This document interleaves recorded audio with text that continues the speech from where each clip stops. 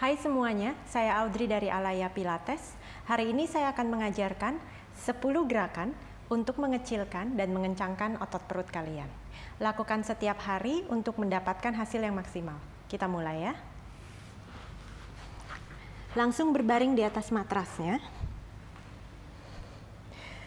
Dekatkan tumitnya ke arah bokong sedikit. Gerakan pertama, chest lift Lalu kita sambung dengan gerakan kedua, chest lift with rotation. Oke, interlace tangannya di belakang kepala, angkat sedikit sikunya, ya, dadanya tetap terbuka, pundaknya tetap jauh dari telinga. Inhale, exhale, tekan otot perut kalian seperti menekan tulang rusuk kalian ke arah matras, bawa naik dadanya. Tulang belikatnya terangkat dari matras. Inhale, exhale. Bawa dadanya turun. Dada naik, otot perutnya aktif. And dadanya turun. Kita akan lakukan 8 kali. Inhale, exhale. And bawa turun lagi. Inhale, exhale, dadanya naik. Pelviknya tetap stabil, otot perutnya terasa kencang. And then turun lagi dadanya. And exhale. And bawa turun dadanya. Tiga kali lagi. Inhale, exhale. And bawa turun dadanya. Dua kali lagi. Inhale, exhale. Pada waktu dada kalian naik, kalian akan merasakan otot perut kalian seperti ditekan terus ke arah lantai. And bawa dadanya turun. Inhale, exhale. Diam di atas, dadanya tetap naik. Sekarang inhale, exhale, putar ke arah saya. Kembali ke tengah.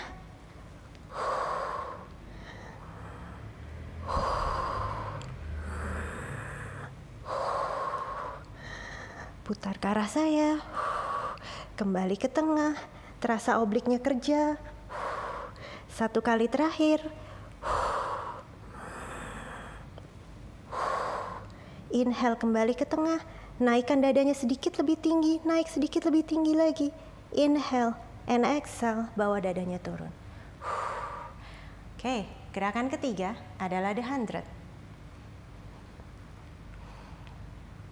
Aktif otot perutnya, kencangkan terus otot perutnya. Satu kaki naik ke tabletop, satu kaki lagi naik ke tabletop. Bawa tangannya ke belakang kepala, ada di samping telinga. Inhale, exhale. Tekan otot perutnya ke arah matras. Bawa dadanya naik. Kakinya lurus ke arah langit-langit. Satu kali inhale, exhale. Five counts, pumping. Out, two, three, four, five. In, two, three, four, five. Out, two, three, four, five.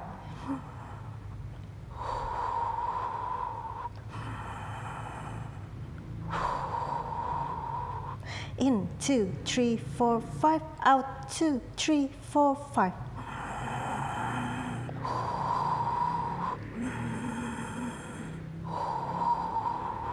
Dua lagi.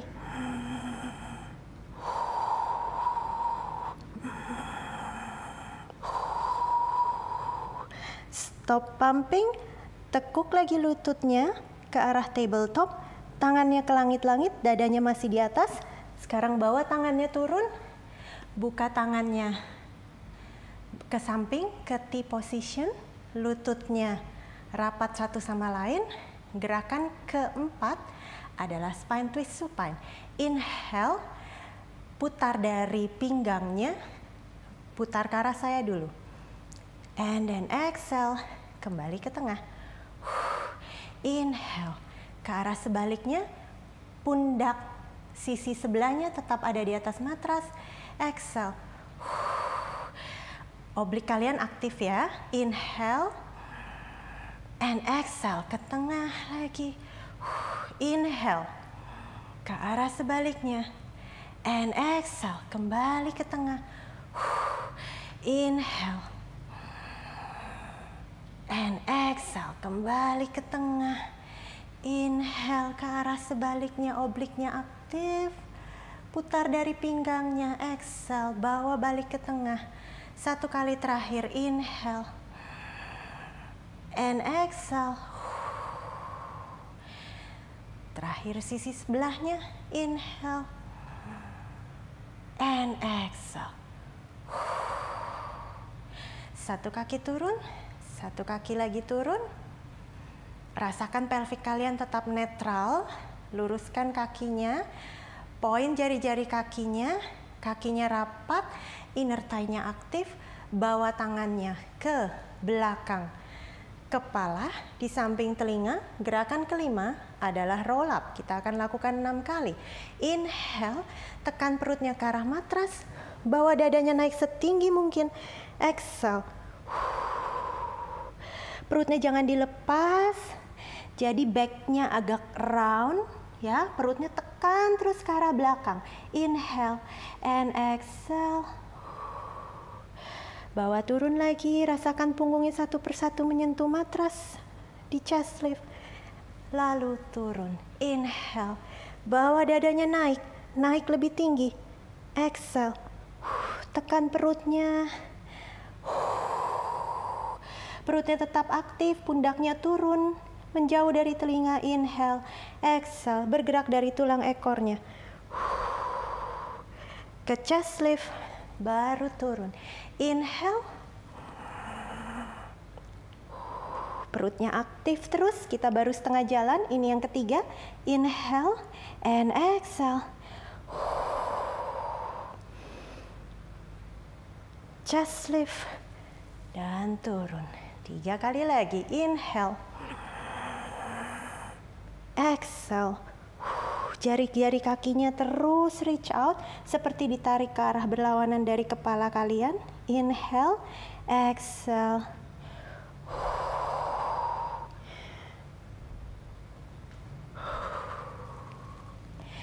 Dua lagi, inhale. Tekan perut ke arah matras. Exhale. Rasakan perut bawahnya kerja. Inhale and exhale. Bergerak dari tulang ekor kalian. Satu persatu punggung menyentuh matras ke chest lift. Lalu turun. Satu lagi. Inhale. Exhale. Bawa naik curve-nya ke atas. Pundaknya menjauh dari telinga. Aktif terus perutnya. Jangan dilepas. Inhale. And exhale. Bawa turun ke chest lift. Stay di chest lift. Tarik kaki kanannya mendekat, bawa ke tabletop. Tangan kanannya ada di atas lutut yang kanan. Kita akan melakukan gerakan keenam, single leg stretch, disambung dengan crisscross, gerakan ketujuh. Pada posisi ini, kaki yang lurus di atas matras, bawa naik sampai ujung kedua jari kaki ada pada ketinggian yang sama.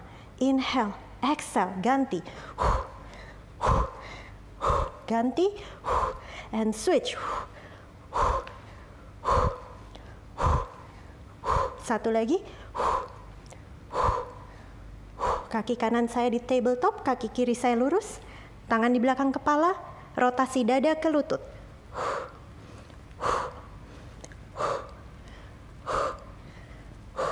Belikatnya bawa naik dari atas matras. Satu terakhir. Bawa kembali ke tengah. Tetap di chest lift, bawa dadanya naik lebih tinggi. Pegang kaki sebelah kanan, kaki kiri turun, luruskan.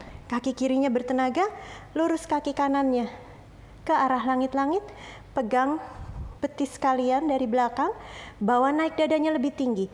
Gerakan ke-8, hamstring pull one. Kita ganti double breath.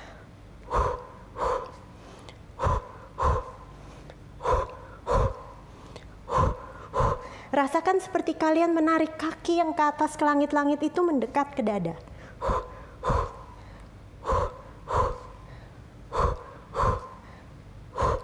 Satu terakhir.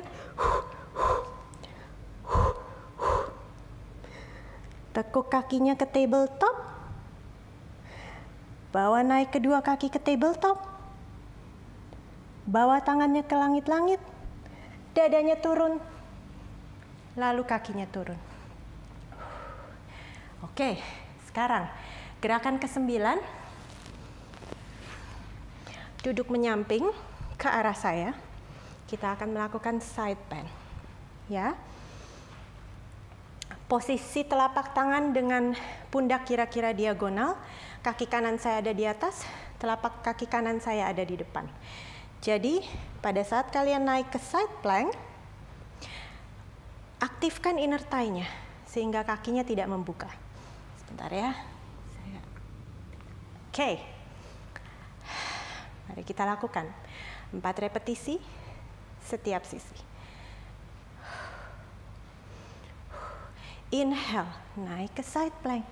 Exhale, pinggulnya seperti ditarik naik ke atas langit-langit lebih tinggi, pandangannya ke arah telapak tangan di bawah. Inhale kembali ke side plank, exhale turun, tap, naik lagi. Exhale, side bend, side plank, turun, tap.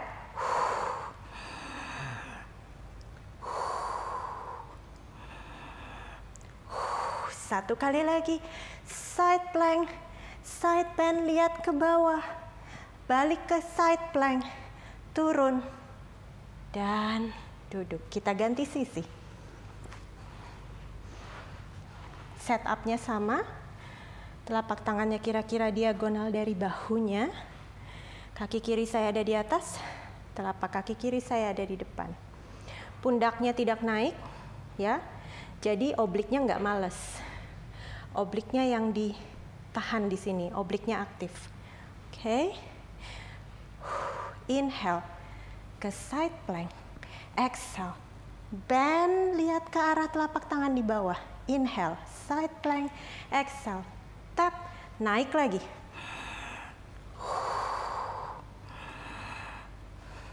Obliknya aktif, pundaknya jangan naik. Satu kali terakhir.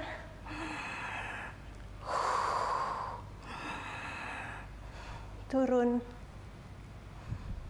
Oke, gerakan ke-10 adalah front support.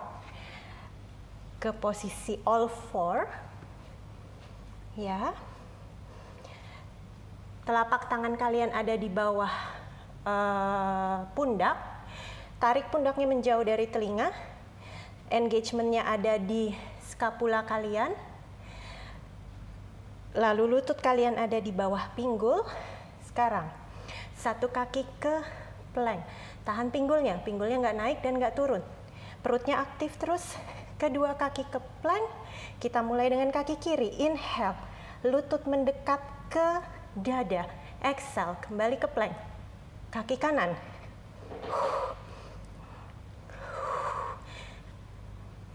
Dua. Tiga. Empat. Lutut mendekat ke dada satu kali terakhir. Tetap di posisi plank. Dorong pinggulnya naik tinggi ke atas langit-langit. Jauhkan pundaknya dari telinga. Up stretch one. Sebentar kita tahan di posisi ini. Perutnya tetap aktif.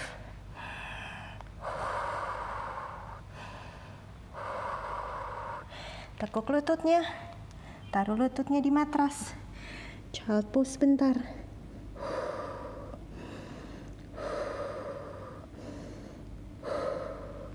Bawa tangannya mendekat ke lutut kalian.